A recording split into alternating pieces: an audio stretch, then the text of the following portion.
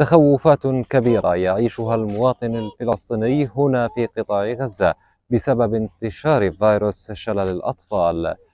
هذه المخاوف تبددت وذهبت بعد دخول اللقاحات إلى قطاع غزة ولكن يبقى التحدي الأكبر في المعاناة والصعوبة بالوصول إلى هذه اللقاحات. ويبقى التحدي الأكبر في المحافظة على النظافة والصحة العامة. للأطفال الفلسطينيين في قطاع غزة خشية من انتشار أوبئة أخرى.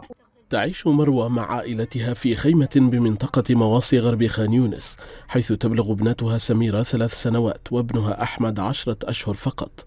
خوفا من إصابة طفليها بفيروس شلل الأطفال قررت مروى أن تأخذهما للتطعيم فور إعلان وزارة الصحة في غزة عن بدء حملة التطعيم الواسعة النطاق في الجنوب الخميس الماضي.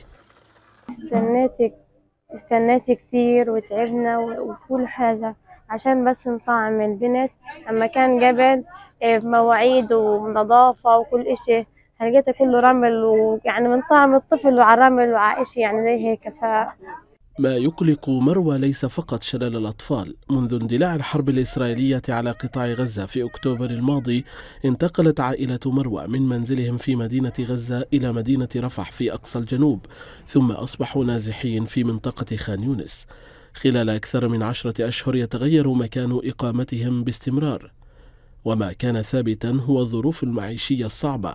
حتى صناديق القمامة أصبحت تستخدم لتخزين المياه للاستعمال اليومي. وهنا عايشين بخيمة يعني كنا قبل بلاط وإيش يعني نظيف وكل إشي وكان المية متوفرة وفي شامبو وفي كل حاجة. بس هلقيته ما فيش شامبو ما فيش مواد تنظيف ما فيش يعني ناقل الأسطولة.